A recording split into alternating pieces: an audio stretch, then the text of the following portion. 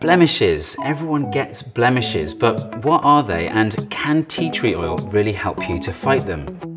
I'm Steve Mould, I'm a scientist. I like to solve everyday problems with science, like how to manage breakouts. I've teamed up with The Body Shop to investigate the science behind their best-selling tea tree oil and how it can combat breakouts. Let's find out what blemishes are and how tea tree oil might help you to control them. The problems start when your pores get blocked, and here's why.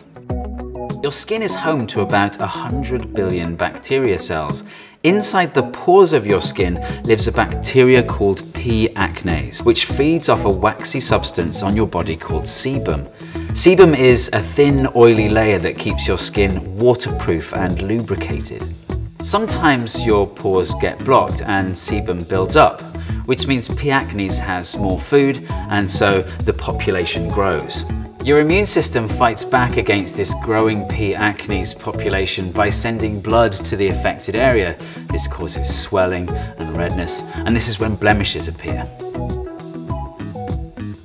This is where tea tree oil can help. Tea tree plants have evolved the ability to make chemicals that stop bacteria cells in their tracks, even causing the cells to pop. Tea tree can speed up the healing process, getting rid of blemishes more quickly.